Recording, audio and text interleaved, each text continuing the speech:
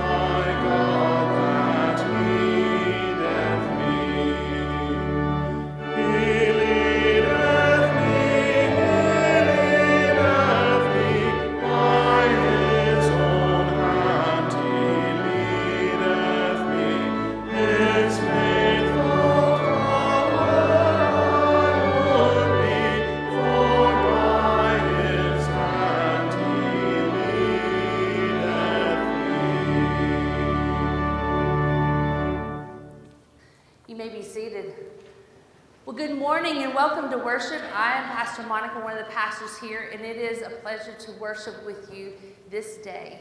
Uh, we will be continuing our sermon series on looking for direction as Amy will wrap up um, some great, great advice for us today and directions based on uh, a scripture from Isaiah 40. And so I hope that you'll prepare your hearts for worship um, this morning. If you are visiting with us or if you are here for the first time, we want to connect with you. And a way that we do that is through a Connect card, and it's in your pew, or you have a QR code on your bulletin. You can scan it with your uh, phone camera, and it'll come up to a website, and we get just a little bit of information name, phone number, email. Uh, nothing major. We will not spam you, we will not be at your doorstep, but we will connect with you. We want um, you to be, feel like you're welcome here, but also we want you to have a direct communication link to us so that you can find out more about our church, how you can get involved, um, and how you can serve, and what, what we believe and who we are as a church here at St. Luke. So I invite you to take a moment to do that if you are a guest with us. We do have a gift for you, so I hope that you'll stop by the welcome desk and pick up a gift from us. It is a free thing. It's just a thank you for visiting and for um, worshiping with us today. And so, in the life of our church, uh, one way that we do life together is through prayer. Uh, prayer is essential and is a means of grace in which we connect with God and we also intercede on behalf of our brothers and sisters in Christ. And so um, that is something really significant to us here at St. Luke's. We have a wonderful prayer team. So if you would like to lift up someone in prayer, we have prayer cards in the pew, or you can go to our website and lift up one there as well. You can mark them private for pastors only. You can put them to our intercessory prayer team, or you can have them designated to go to the prayer list, which is for the whole congregation to pray for one another. So um, I invite you to take time during the service to write down any prayers that you might have. Let us go before the Lord now and uh, share our hearts and our minds and lift up those names that we might carry with us today.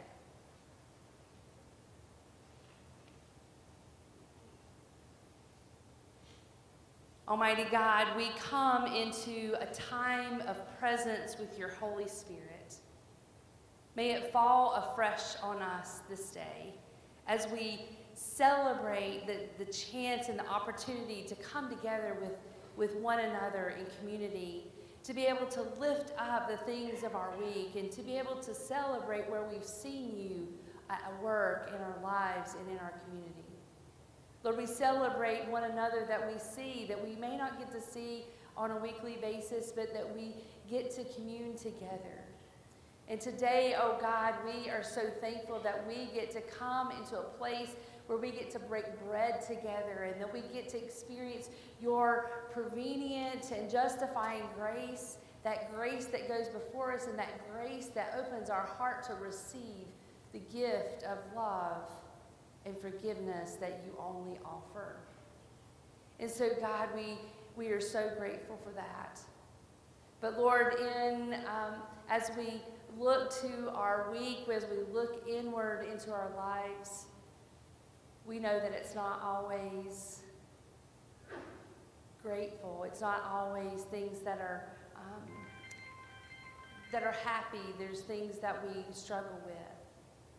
And so, God, as we lean in, we we we pray, Lord, that we lean into Your Word when we are weary and when we falter and when we are heavy um, with heartfelt concern for for another person or a situation.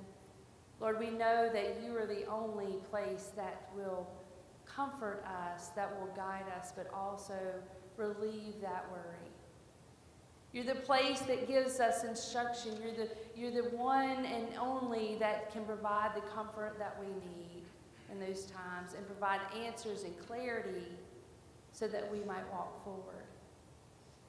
And so, God, we pray for those in the midst of those situations, and we pray for those that have heavy things on their hearts this day.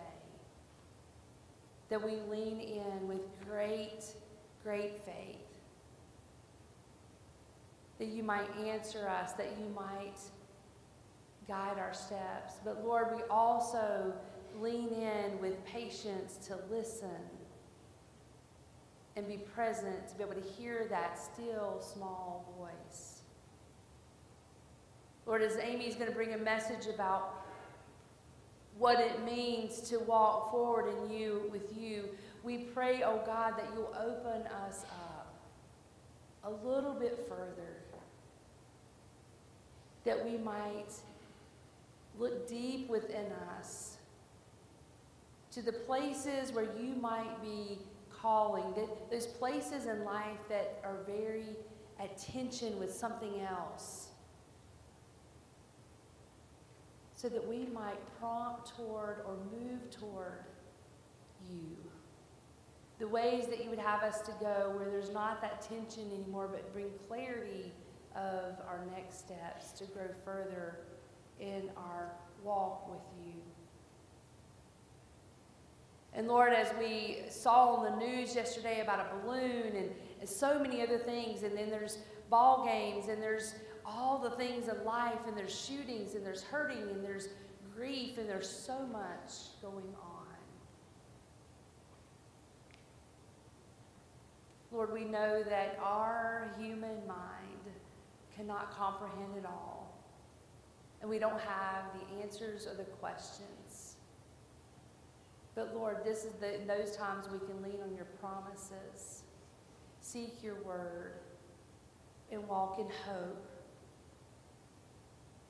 that you are working despite the harm and the situations you are at work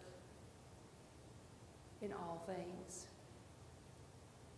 And so, Lord, as we worship together, let us remember that you are present with us as well. We lift up the situations where hope is needed.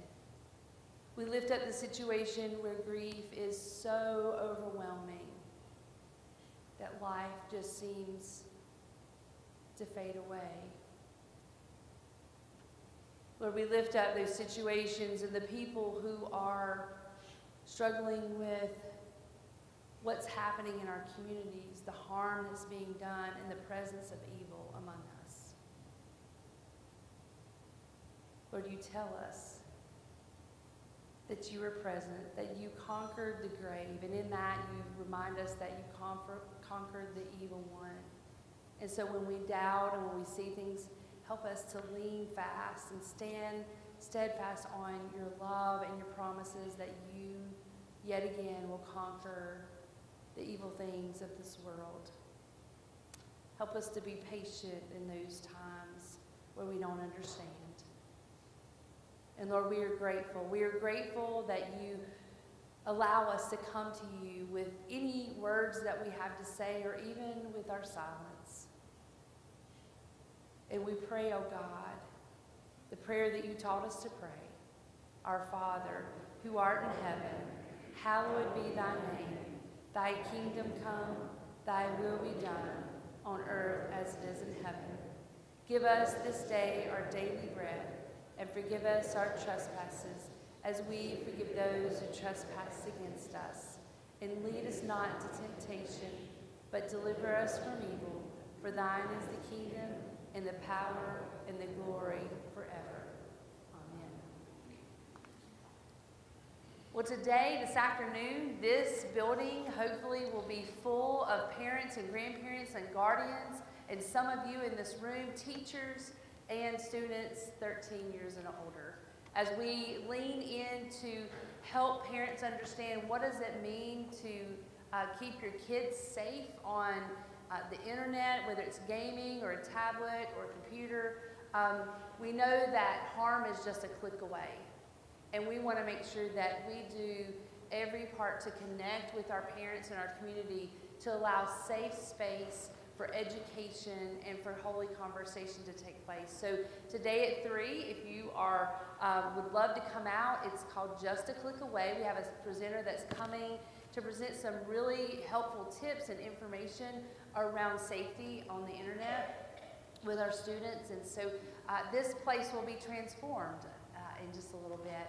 And it's because of your gifts and your giving that we're able to take um, the Word of God through fellowship and um, continuing to grow together in knowledge uh, to, to the community. And so thank you for your gifts. Thank you for uh, providing and being present um, in that way uh, with the church. And so, with that, I want to offer a time uh, for us to go to God in generosity with our time, our presence, our gifts, and our service.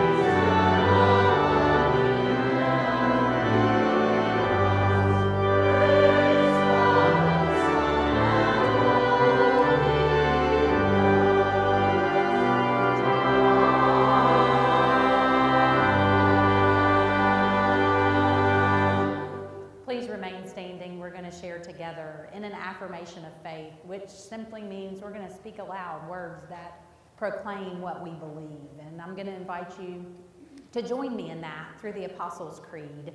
And so let us share together. I believe in God the Father Almighty, maker of heaven and earth, and in Jesus Christ, his only Son, our Lord, who was conceived by the Holy Spirit, born of the Virgin Mary, suffered under Pontius Pilate, was crucified, died, and was buried. The third day he rose from the dead. He ascended into heaven and sitteth at the right hand of God the Father Almighty.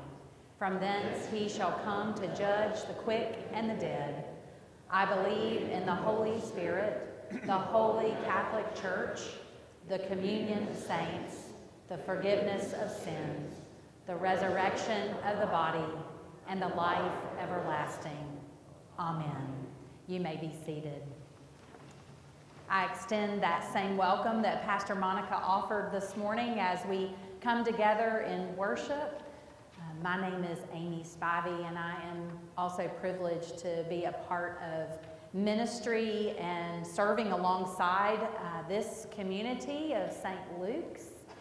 Um, and I hope that um, you all will feel welcome, but if you particularly are newer to St. Luke's and would like to learn more to get to know Pastor Monica and me a little bit better. Maybe you're wanting to learn a bit, little bit more about our ministry.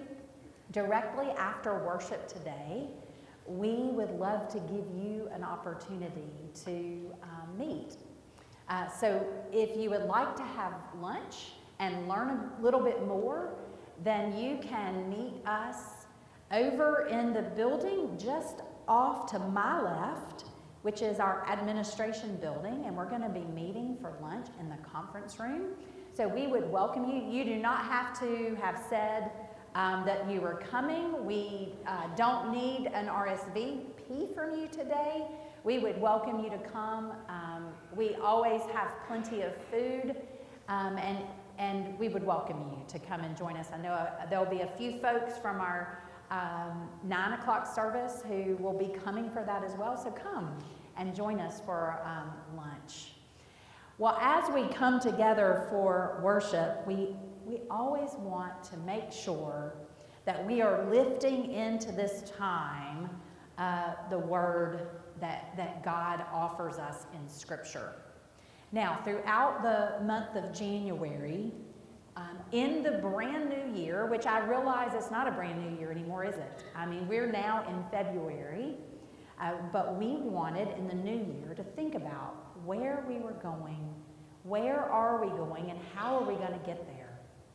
So we've been looking for direction in this sermon series. And so we are going to round that out today. One of the things that we've really wanted to do is to help us to think about what are the what I have called mile markers in our lives that help us to, to know where we are going.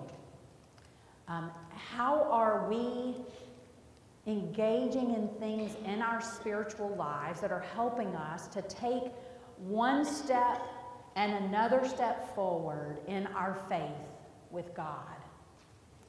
Now, specifically for us, that has meant we've looked at worship and prayer and study and serving and giving. I know Pastor Monica shared with us last week a reflection on serving and giving, and she uh, so poignantly helped us to think about what it means to, for our hearts to, to turn around towards God. So, what, what does it mean for us to, to have healthy spiritual lives? What does that look like? So, we've wanted to lift those things up. Now, you might be thinking, I missed out on worship and prayer. I haven't been here every Sunday. That is okay. Um, we want you to think about it today, but you can also, if you want, go to our YouTube channel, St. Luke's UMC Hickory. You can look at the sermons from January up until to, um, up until now, and you can catch up. You can li listen and learn through that. And then hopefully, when you do that, you too can find a way to gauge where am I going and how do I get there. Uh, so, I want us to think today about how we might create a way forward for ourselves in a tangible way going forward. And I think the word that I'm going to share from Scripture is an encouraging word. Now, in the very beginning of this series, I started in Isaiah 40, at the very first verse, the very first part of that chapter that uh, says, Make a way in the wilderness for the Lord. Right? Make a way for the Lord. So I want to share with you today the closing words of Isaiah 40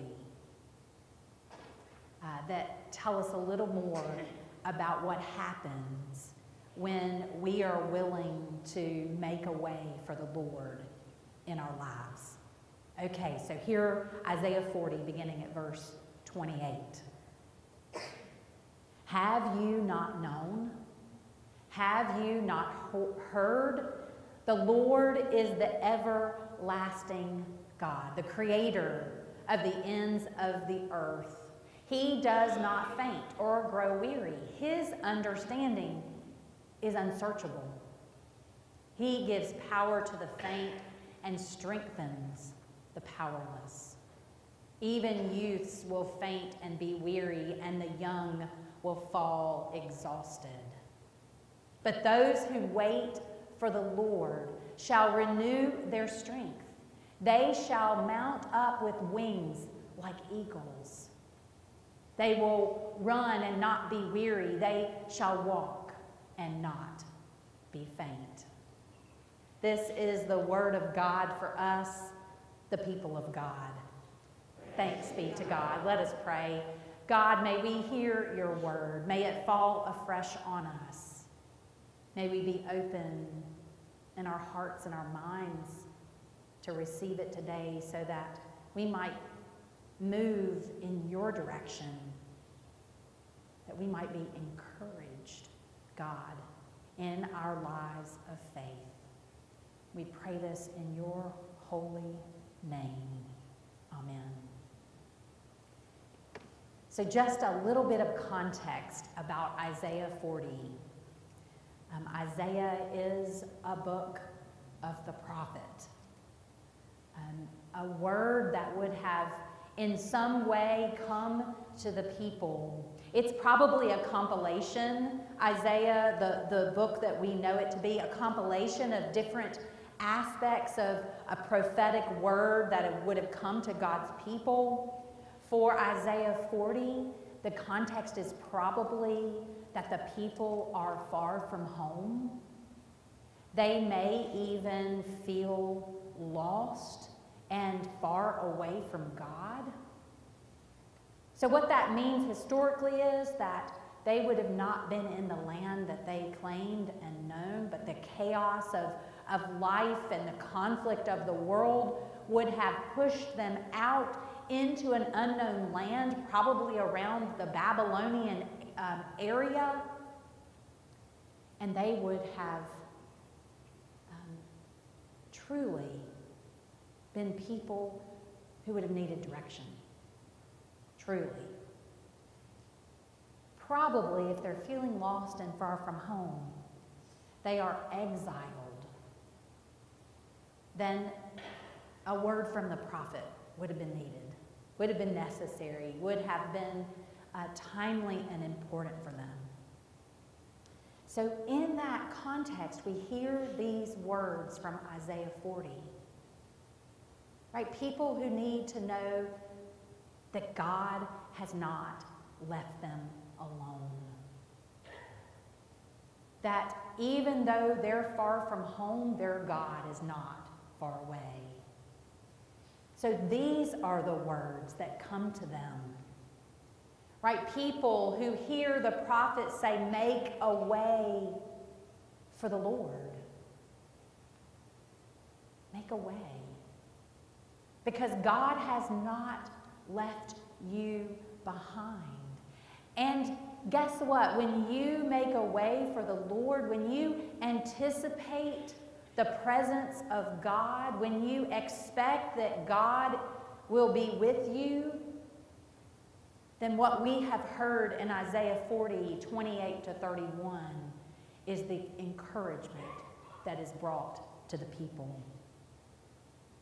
And I want us to look specifically at verse 31.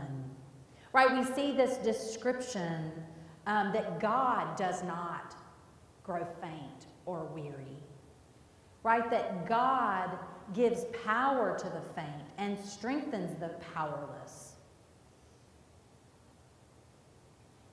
And in 31, it says this Those who wait for the Lord shall renew their strength. They shall mount up with wings like eagles. They shall run and not be weary. They shall walk and not be faint. So, as we are people who take one step and another step in farther into 2023, as people who are looking for direction, this word is a word that is intended to offer encouragement that God is with us. That when we are willing to go, God will give us strength. See, because, because God's people then, and even God's people now, find themselves weary and faint at times in life right? Like taking a step forward some days is much harder than others. And I don't have any idea what your experience of life is today or what is on the horizon for you. I don't know specifically what your goals might be or your dreams might be going forward or, or where you think God is, is leading you. But what we know from the words of the prophet is, is that we can trust that God will meet us where we are going. And in fact, verse 31 says, Those who wait for the Lord shall renew their strength. So, wherever we are going, if we anticipate that God will meet us, that God goes with us, then maybe we will find strength to go forward. Now, the interesting thing about that word wait is that it's not really the, the idea of waiting that maybe we sometimes think about on a day to day kind of understanding. I think about when we wait at the uh, airport at our gate for a plane right? We find a seat, we navigate the crowd, and we, sit, we sit back and we wait, right? We wait for the, the voices to come over the intercom, and we sit back and we wait. And we wait, right? That's not the kind of waiting that this particular text is, is indicating. There's a different nuance to the understanding of this word wait. Right? It's literally, if you look at that word in Hebrew, it literally is uh, to stretch. Right, to, to stretch. And you can think about that logically if you're if you're waiting, there's something is being is being stretched out. But really, it's about longing for something. It's not really about sitting back and just waiting, it's about longing for something. Right? It's almost as if in waiting, you're moving closer to God. Right? It's more of an anticipation or a hope. Right? If you're longing for something, it means that, that something is, is pulling you forward. It's not causing you to sit back and wait. It's almost like it's pulling you forward. So I'd like to think that this, this notion of waiting for the Lord is more of an active hope. right? This, this active hope of expectation and anticipation and of trust and confidence that, that, that the waiting is not in vain. Right? This active hope. It's not, it's not a passive waiting, it's an active hope. Right? Stretching us towards God. So, what I'd like for us to think about to, to round out this, the, the, the, the thoughts and reflections we've been offering about seeking God, about having a healthy spiritual life that's going to lead us in a direction so that we know where we are going and how we're going to get there. I'd like for us to think about what it means to, to, to live an active hope, right? To actively seek God, who we can trust and in whom we can have confidence. Right? But those who wait for the Lord shall renew their strength. So if we live in an active hope, not a passive waiting, but an active hope, it means that, that we're going to be able to trust and have confidence in God who's going to give us strength to take the next step. And then guess what after that? Those who wait for the Lord shall mount up with wings like eagles. Wow, not only are we going to have strength, but we're going to soar. We're going to soar. God is going to enable us to be lifted up and to, to go forward in a way that carries us in directions we would have never known otherwise. But those who wait for the Lord shall run and not be weary. Right? When we are actively hoping and, and being stretched in the direction of God, then, then we're not going to be weary. We're going to be able to run. And those who wait for the Lord shall walk and not be faint.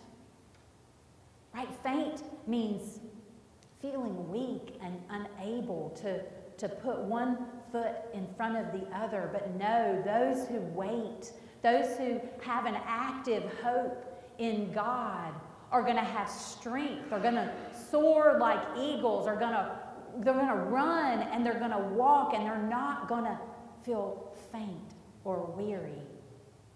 You see where I'm going with this? That if we are willing to live an active hope, and shape our lives around the things that are going to most closely connect us to God, it means that we can we can trust and have confidence that our future, the direction where we are going, right, is going to be led by God and that we can go with confidence and with strength. Now, what does that mean practically for us? That means that each week we have encouraged you to think about your own faith direction. Now, the, uh, the one I have is from a previous week when it was blue, but you all have an orange one today. So I want you to take that out. I want you to take a look at it. Now, maybe you have yours that you've been filling out each week. Um, maybe yours is already complete and it's at home. It's maybe hanging on your refrigerator or sitting on your desk or somewhere to remind you. Or maybe you're still pondering and considering what it is that, that, that you might do to prioritize your physical, uh, spiritual health like we would our physical health. Right? Maybe you're still pondering that. But what I want to encourage you to do today, knowing that when we live an active hope in God, when we wait for the Lord, when we trust that God is going to lead us in, in new direction, that, that God is going to, to, to, to move us, guide us forward, to, to reach our goals, and to live our dreams. And ultimately, to live a life of love? right? Love, then that means we have to have a plan. And I shared in my, my, my weekly reflection on Thursday through the email that goes out. And if you don't get that email and would like to, usually we give um, information that will, um, that will help to, to prepare us for worship, and we can um, get you signed in on that. Um, but I, I said in that that when, when our daughter was born almost 17 years ago, my mother in law, at probably a moment when I was feeling very lost and confused and uncertain about what it means to parent and to uh, live with a baby, um, she said it's always best to have a plan. Always best to have a plan because if you don't have a plan, then, then you're going to feel more lost than you would have otherwise. However, it's a good chance that when you make your plan, it's going to change. And that's okay. It's better to have a plan. Now, we saw that in the early worship. Um, the most um, effective object lesson I've never been in charge of, and that was that we had a plan for Holy Communion, like we do today and here, and the power went out. So, as I was proclaiming the, the good news of forgiveness in Jesus, which hallelujah for that, uh, the power went out. So, we had to figure out how to do it. And guess what? We came up with a new plan. But we had a plan. So, I want to say to you today, as I round out uh, this message and this reflection on the direction of our lives, it is always better to have a plan. So if for some reason today you hadn't come up with a plan yet, I really encourage you to make a plan. Without a plan, we don't really know where we're going at all. With a plan, it gives us some direction and we know a little bit of how we're going to be guided, and then we can adapt it and change, and we don't have to feel guilty if it does change. But the plan is around worship and prayer, around study and serving and giving. These are spiritual practices that are central to our life with God. And I would like for each of us to have a plan of how we're going to engage these, how we're going to live with an active hope, and how these things are going to help us do that. To connect with God, to live our faith, to know where we're going and how we're going to get there, but we need to have a plan. So, as I promised in my correspondence last week, I'm going to tell you what my plan is. The other part of having a good plan is that you also have a person with whom you're accountable to it. It's important to have somebody, maybe, maybe your spouse is that person for you, and maybe they're not, and that is okay. But maybe you have a good friend or uh, someone who you communicate with on uh, social media or uh, through email, share your plan with someone else and check in with one another about it. So I'm going to share my plan, and you can ask me about it later. Ask me how it's going. How is that going, Pastor Amy? So this is my plan, and then I'm going to round it out. Okay, so my plan is worship and prayer. Okay, I know you're thinking you're at worship because you lead worship. But I want to say to you, worship is important to me. It always has been. And when I wasn't serving a local church for five years, which hasn't been too many years because I've, you know, well over 20 years uh, in ministry, um, those five years that I wasn't serving a local church, my family regularly was a part of worship. Um, pretty much every week. Um, worship is important to me. Uh, so while I know I have to be here because it's my job, it is important to me. Um, so, weekly worship is important to me. Um, I will extend uh, prayer, um, which I do daily anyway, but one particular goal that I have for myself is that I'm going to do daily gratitude. Now, I have, I have bought um, something that I hope will help to encourage me, and maybe this is something you can do as well. I found this um, awesome little book at Barnes and Noble. Um, it's small. It doesn't make me feel like I have to write a book every day. Um, but this is going to be my gratitude book for my daily prayers of gratitude. And I love it. It's um, a book that um, is connected to Morgan Harper Nichols. She's a beautiful writer, creative thinker, poet, um, encourager. I follow her on Instagram, and I love what this book says. Note to self you can do this. You can do this. So, this is going to be my gratitude, daily gratitude book. So, worship and prayer. Now, I've mentioned it in previous weeks, but I am reading or listening to the Gospel of Luke. And I started that at Christmas time, um, Advent and Christmas, when we started hearing that birth narrative. I'm carrying it forward, and my goal is that I will um, engage five chapters a week with the Gospel of Luke. And once I'm done with Luke, I will go directly into Acts. So that is a Luke Acts uh, goal for me. Um, now, I haven't mapped it out and I haven't calculated five chapters a week. How long will that take me? Um, I'll get back to you on that. I haven't done that. Um, but I will because I want, I want to have a goal for myself of when that should, when, when I can see a, a terminus on that. Um, serving and giving um, vocationally, I've given my life to that. That's what I do. That's my heart, that's my calling. Um, but it's more than just a job for me. Um, I give, I'm committed to giving. Um, I give uh, to the church, um, my tithe. I give to uh, uh, financially to other organizations. Um, I give of my time. One of the ways that I'm committing to doing that is I am on the board of uh, Greater Hickory Cooperative Christian Ministries. And I give my time not only at board meetings, but I give my time working um, with their team to help connect churches to GHCCM. So I, I, serve in that way outside of my role. And that is what is on, that's, that's what's on my plan.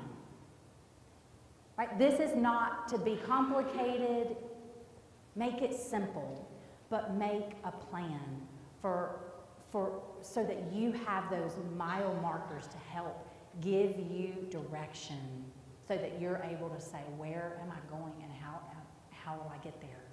This plan will help you accomplish that. So make space for God. Make space for God. Prioritize your spiritual health like you would your physical health. And be encouraged that when we wait for the Lord, the Lord is there. God is with us, and God will give us strength. God will help us to soar like eagles. God will help us to run and to walk and to not be weary or faint. God will help us go forward. And it doesn't have to be complicated. And when we are able to do that, we're going to know more deeply more profoundly and more certainly that God loves us, that God forgives us, and that God extends grace to each and every one of us. And we're going to have an opportunity today. Maybe communion can be a part of your plan. Maybe communion is something that is really connects with your heart, right? That sacrament, that, that special. We're going to give you the opportunity to experience communion. Maybe your plan could include I want to make sure I am at St. Luke's or, uh, or somewhere once a month where I can take communion. And we offer communion every first Sunday. That'd be a great thing to add to your plan. That I want to worship and take communion at least once a month. And I can do that with St. Luke's. And we're going to give you that opportunity. So think about the simple things, but make a plan. Because if we don't have a plan, we really won't know where we're going and we won't have the things that are going to help us to get there. It doesn't have to be complicated. Let me share with you one um, beautiful word from Mary Oliver, a poet, um, a prophet maybe, even. Her poem, Praying, says this It doesn't have to be the blue iris. It could be weeds in a vacant lot or a few small stones. Just pay attention. Then patch a few words together and don't try to make them elaborate. This isn't a contest, but the doorway into thanks and a silence in which another voice can speak. May we be people who wait for the Lord and have trust and confidence in where we are going with God. Amen.